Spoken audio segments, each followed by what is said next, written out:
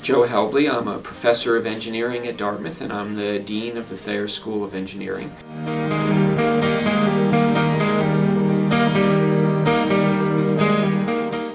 Might not realize that over the past few years the majority of the companies that have started in this country to develop alternative energy solutions have been founded or co-founded by engineers. More than 60% of them have.